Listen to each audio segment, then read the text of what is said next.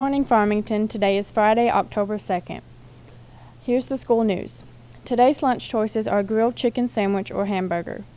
First Baptist Church in Farmington will be hosting their annual community coat drive tonight from 6 to 8 at their main campus located at 589 Rheas Mill Road.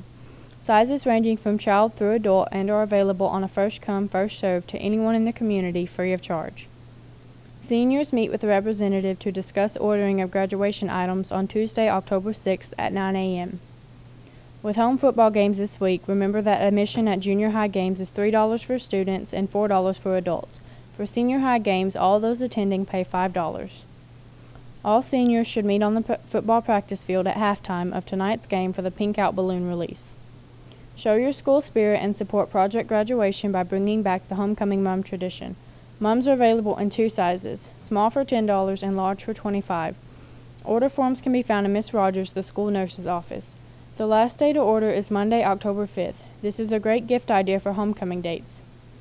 Homecoming Spirit Week activities begin on Monday with Millionaire Monday. Put on your best dress, bling, and manners as homecoming week kicks off. Tickets for the homecoming dance are now on sale. Non FHS students need a form completed so they can attend. Single tickets are $15, couple tickets are 20. The night of the dance, October 10th, tickets are $20.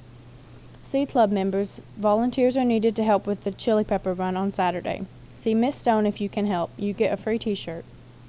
Student Council meets Tuesday, October 6th at 7:30 in Miss Fuson's room B16.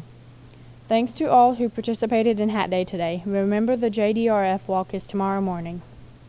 Seniors, the Wendy's High School Heisman Award is available online at www.wendyshighschoolheisman.com through today. Eligible students must have a B grade point average, participate in a high school sport, and be active in their community.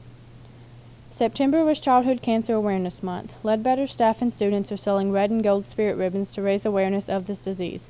The ribbons are $2 and can be purchased from staff in the main office through today. Sale proceeds benefit a Ledbetter student and her family. Payments for NWAC classes are due. See Miss Williams in the main office. Please come and check the lost and found. All items not claimed will be donated to Goodwill on next Friday, October 9th. On the sports front, tonight's senior high game is at home against Greenbrier. It is pink out Farmington night. The cross country team competes at the Chili Pepper Run in Fayetteville tomorrow. Now here's a quote to think about. Let no one who loves be unhappy, even love unreturned has its rainbow. James Barrie. Thank you, Farmington, and have a phenomenal Friday.